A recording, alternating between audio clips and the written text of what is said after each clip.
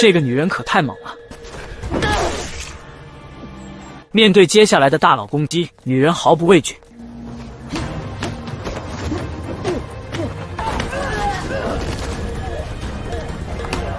女人名叫艾琳，是一个看起来非常普通的女孩，但他却有着一段不为人知的经历。五岁时，他被一伙青少年绑架，一绑就是十五年。在此期间，他遭受了各种非人的折磨。这段经历也激发出他无尽的潜能。艾琳为了逃出噩梦，他用极其残忍的手段杀掉了绑架自己的人。自从杀了人，艾琳内心的恶魔被激活。为了压制他，艾琳不得不服用精神药物。就在病情有所好转，生活进入正轨时，新的危机悄然出现。这天，艾琳与认识了三年的男朋友吉米前往他家庄园度假。艾琳是在网络上认识的吉米，两人情投意合，坠入爱海。所以，面对吉米的邀请，艾琳欣然答应。可直到出发前，艾琳才知道这次庄园聚会还有吉米的哥哥以及他的女朋友跟吉米的姐姐。艾琳得知此消息，脸上充满不悦。本来他就不想见生人，眼下又这么多人。吉米看到艾琳的反常，主动上前进行安抚。在吉米动之以情、晓之以理的述说下，艾琳情绪稳定下来，坐上了前往庄园的汽车。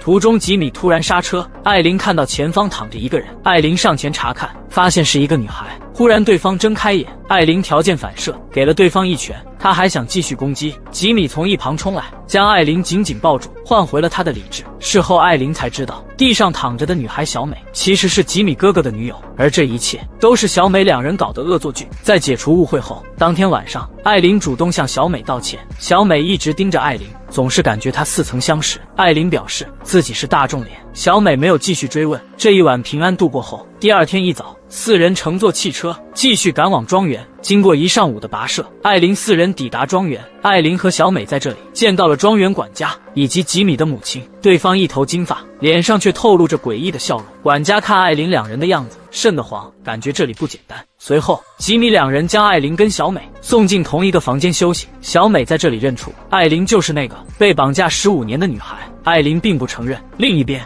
庄园附近的森林中，一位国外富豪正在这里狩猎，只不过他的猎物有些特殊，居然是人命。男人被绑在远处，富豪举起手中狙击枪，第一发子弹打偏，他重新调整瞄准镜，第二发精准命中猎物左肩。富豪再次举枪，目标锁定在男人手腕上，没曾想子弹意外打偏，击中男人手上绳子。男人趁机挣脱束缚，回头朝着森林深处奔逃。富豪来了兴趣，立马举枪追了上去。富豪根据血迹追到一群建筑内，猎物试图进行偷袭，富豪及时反应过来，用手臂挡住攻击，一把将男人推出去。富豪跟他拉开身位，接着找机会回击，将猎物制服后，从身后掏出军刀，将男人割喉。富豪来这里，一是为了真人狩猎，二是想从吉米姐姐玛莎手中购买一种特殊血液。而玛莎是个狠角色，她是整个家族的掌舵人。其实从这里不难看出，艾琳跟小美成了猎物，吉米跟他哥哥的任务便是从世界各地诱骗各种女孩到这里来取血，必要时他们还会成为富人们的玩物。此时的艾琳两两人对此还浑然不知，并不知道自己掉入陷阱中。而首先发现不对劲的还是小美。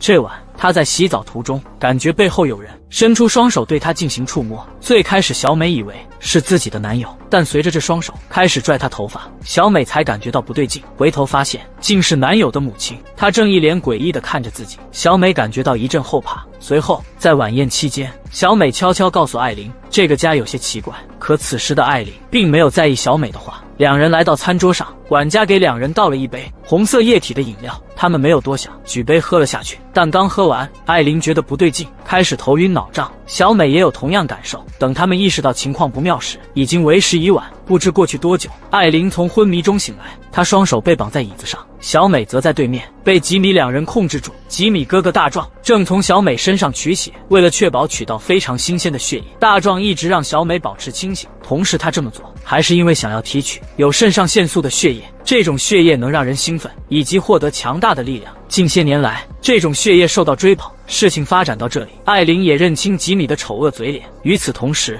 玛莎从实验室回到庄园，她督促母亲尽快将富豪所需要的血液备齐，完成交易。吉米见小美要晕过去，急忙跑过去将她唤醒。大壮起身离开地下室，回到母亲身边。艾琳趁此机会，心中小宇宙爆发，一把挣脱束缚，重拳出击猛 K 吉米。后者一时没反应过来，被艾琳一顿猛揍。艾琳坐到吉米身上，将他活活打晕过去。艾琳救下小美，带着他逃跑。试图逃出这个恶魔之地。玛莎见到富豪，准备进行交易。玛莎母亲让大壮去看看血液情况。大壮来到地下室，看到吉米躺在地上，女孩们不见了，随即开始四处寻找，正好与艾琳狭路相逢。艾琳没有惯他毛病，直接重拳出击，大壮根本不是对手，他掏出军刀还击，艾琳侧身躲避，找机会打掉其军刀，两人再度扭打在一起。大壮实力明显优于艾琳，但还是因为大意被艾琳抹了脖子逃走。玛丽这边得知大壮死亡，艾琳两人逃走后，顿时怒不可遏。眼看这种情况，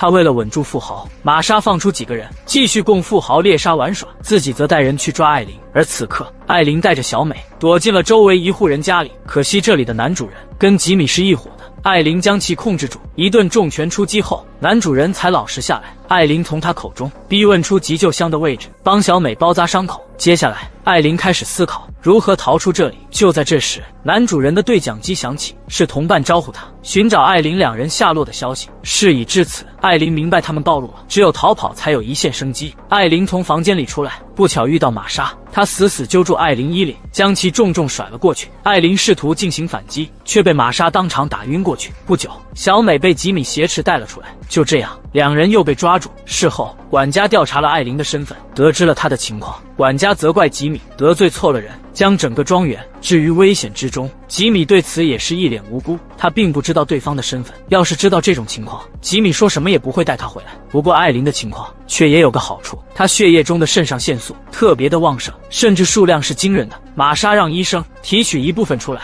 她刚想品尝一下，医生将其拦住。艾琳的血液如果不经过处理，贸然喝下可能会致命。玛莎犹豫了。其实像艾琳这种好的血缘体，理应将其好好留住。但玛莎剑走偏锋，非要玩什么猎杀游戏，想要折磨艾琳。于是他将艾琳两人带到森林中，自己则跟富豪等人准备对他们进行猎杀。艾琳跟小美跑进森林中，开始找地方躲藏。艾琳爬到高处，观察周围情况以及寻找小美的位置。这时，艾琳注意到远处有人出现，他快速朝着小美方向跑去。富豪发现他的行踪，举起了手中枪。艾琳受到枪击，躲在铁桶后不敢露头。艾琳趁着富豪走神的功夫，躲到另一个铁桶后，一轮轮射击完毕，富豪子弹打光，掏出了手枪。咱也不知道富豪看见人没有，反正朝前疯狂倾泻子弹。等子弹打光的那一刻，艾琳知道自己的机会来了。她从铁桶后面走了出来，她来到富豪面前，两人开启了肉搏战。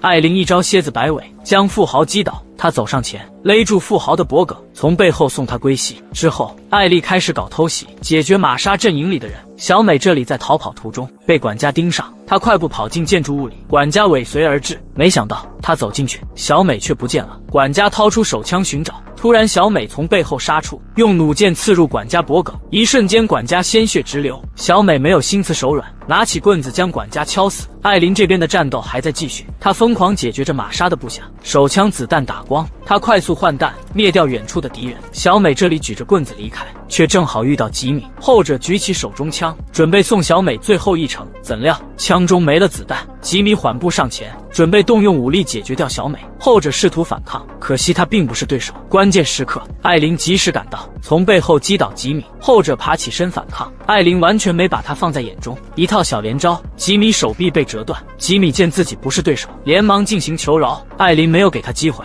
一招猴子掏心，送其领了盒饭。战胜吉米后，小美从一旁跑出来庆祝，结果下一秒。玛莎冲出来，开枪射穿了小美。小美的死亡激发出艾琳的斗志，她走到玛莎面前，两人展开肉搏战。